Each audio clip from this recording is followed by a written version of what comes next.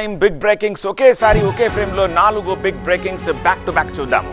Very first Revanth America పర్యటనపై BRS Congress మధ్య మాటల యుద్ధం నడుస్తోంది. సెకండ్ బ్రేకింగ్ ముప్పై ఒక్క మంది సభ్యులతోటి వక్ఫ్ బోర్డు సవరణ బిల్లుపై జాయింట్ పార్లమెంటరీ కమిటీ వేశారు. థర్డ్ బ్రేకింగ్ దువ్వాడ ఇంటి నుంచి హైడ్రామా కొనసాగుతోంది. అది కంటిన్యూ అవుతోంది. ఫోర్త్ బ్రేకింగ్ పద్దెనిమిది నెలల తర్వాత తీహార్ జైలు నుంచి మనీష్ సిసోడియా విడుదలయ్యారు.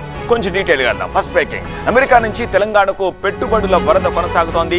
రేవంత్ పర్యటనపై బీఆర్ఎస్ నేతలు విమర్శనాస్త్రాలు సంధిస్తున్నారు. పెట్టుబడులస్తూ ఉంటే ఓర్వలేకపోతున్నారన్నారు Congress. Second breaking Waqf board సవరణ బిల్లుపై జాయింట్ పార్లమెంటరీ కమిటీ వేశారు. మొత్తం ముప్పై ఒక్క మంది సభ్యులతోటి జేపీసీ ఏర్పాటైంది. ఈ కమిటీలో ఇరవై ఒక్క మంది లోక్సభ పది మంది రాజ్యసభ సభ్యులుంటారు. మన తెలుగు రాష్ట్రాలకు సంబంధించిన నలుగురు ఎంపీలు ఈ కమిటీలో ఉన్నారు. Coming to the third breaking Duvvada సతీమణి వాణి ఆరోపణలకు మాధురి స్పందనకు సంబంధించిన బ్రేకింగ్ అందుతోంది. మాధురి వివరణతోటి మరింత ఆగ్రహానికి గురైంది వాణి. సో మరోసారి కూతుళ్ళతో కలిసి దువ్వాడ ఇంటికి వెళ్ళింది Vani. Fourth breaking Delhi Tihar jail నుంచి మనీష్ సిసోడియా విడుదలయ్యారు. పద్దెనిమిది నెలలుగా జైల్లో ఉన్న ఆప్ నేత సిసోడియా ఇప్పుడు విడుదలయ్యారు. రెండు వేల ఇరవై మూడు ఫెబ్ ఇరవై ఆరున అరెస్ట్ అయ్యారు సిసోడియా.